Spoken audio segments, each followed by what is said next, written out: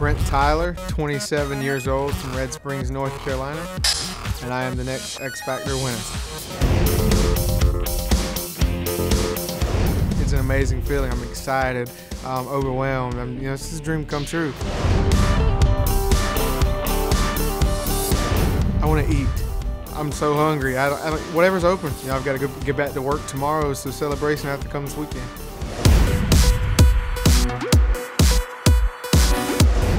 think it was Kelly who asked if I had a set of handcuffs for Paulina. Um, you know, that's just, I hear that all the time from, you know, other women, but to hear it from celebrities is just, it's awesome. I could probably sit down and think of some things, but I would have to be careful. I don't want to ticket.